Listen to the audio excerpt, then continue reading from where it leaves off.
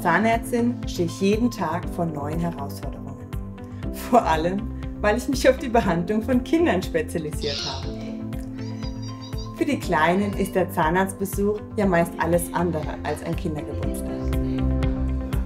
Ich muss Vertrauen schaffen, die Angst nehmen und den Zahnarztbesuch mit vielen positiven Gefühlen aufladen. Und dafür braucht es Verständnis, Geduld und natürlich auch die richtigen Geräte und Instrumente.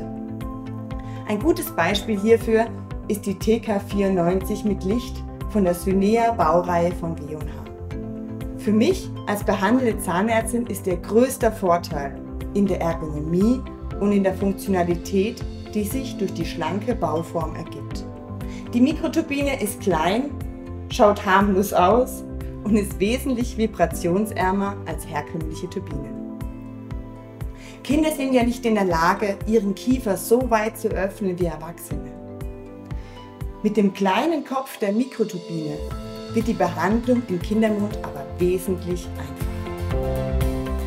Die passende Kurzschaftbohrer reduzieren die Gesamthöhe zusätzlich und dadurch kommt es kaum zu dem unangenehmen Berühren von Nachbarzähnen oder Antagonisten, was den Stress für das Kind ebenfalls reduziert.